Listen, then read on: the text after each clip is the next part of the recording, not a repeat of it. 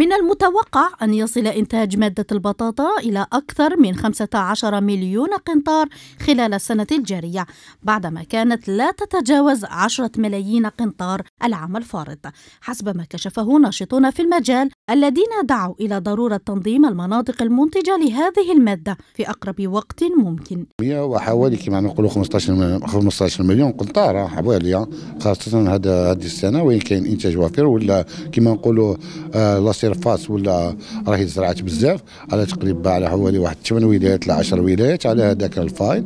وهذا الدور اللي لازمنا نكونوا في, في المستقبل لازم ننظموا المناطق المنتجة على مستوى وطني على الأقل ما نطيحوش في انخفاض الأسعار هذه. وفي السياق ذاته أكد رئيس الفيدرالية الوطنية لمنتجي البطاطا إلى أهمية البحث عن طرق لتجنب خسارة الفلاحين المنتجين لهذه المادة الذين تكبدوا الموسم الحالي خسارة تقدر بأربعين بالمئة.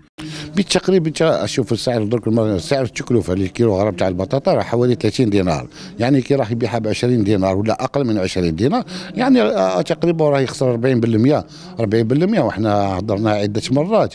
هاد المنتجين تاع البطاطا الخسارة عندهم راه يضر كيما حنا نقولوا راه يضرهم بزاف. خاصة لازم يكون عندهم هامش من الربح. ما راهيش خاطر ما راهم يخدموا مواسم. مواسم يعني موسم وين يكون هو؟